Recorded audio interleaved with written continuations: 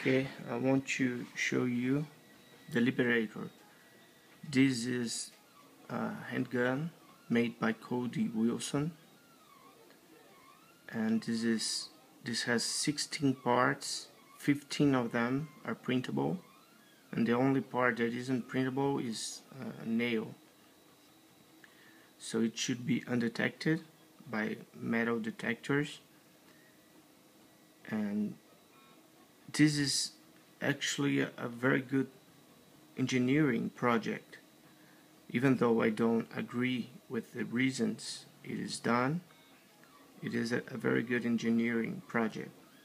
Uh, first I want to make it clear that this is not on the real scale.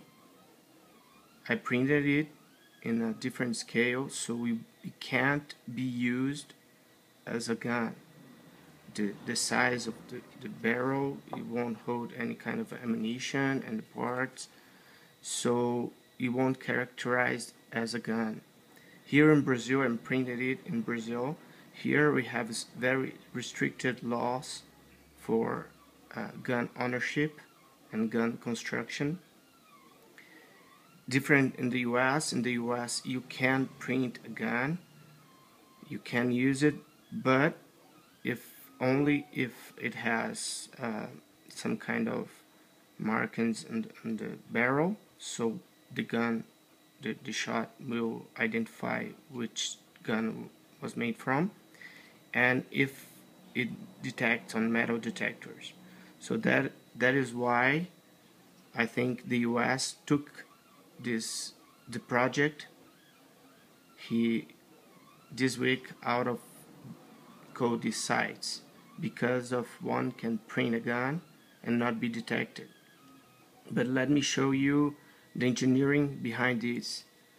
So you have here some springs that were printed and the hammer.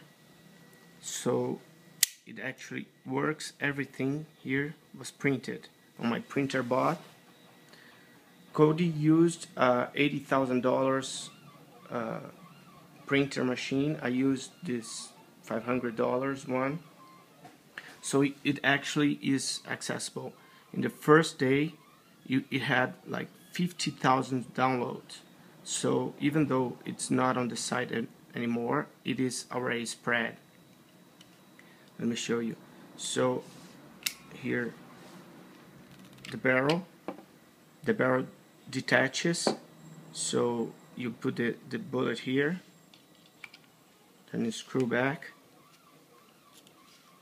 And it's ready to go